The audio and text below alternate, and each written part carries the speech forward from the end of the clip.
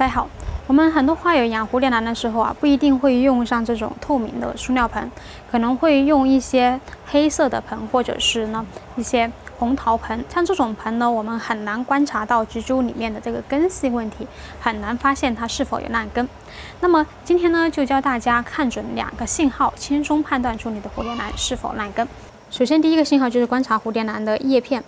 蝴蝶兰的叶片如果出现失去光泽，而且发软发皱的情况，那么就有可能是烂根，根系受损，无法正常吸收水分，然后导致叶片失水而出现呃这种情况。第二种信号呢，就是这个蝴蝶兰呐栽种不稳，我们会发现轻轻一碰啊，它就左右晃动，或者整株植株直接倒伏。那么这也是因为严重烂根而导致植中这个根呐扎不稳而造成的。那么，如果一旦发现蝴蝶兰烂根，我们最好就是给它脱盆修根，再重新栽种。